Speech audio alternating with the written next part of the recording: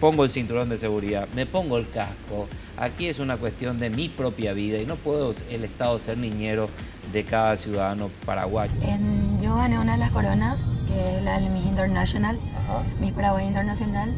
Me fui a Tokio, a Japón, a competir entre más de casi 100 países. Y lo que más me gustó, ¿sabes qué fue, Ale? ¿Qué fue? Que me llame Paraguay.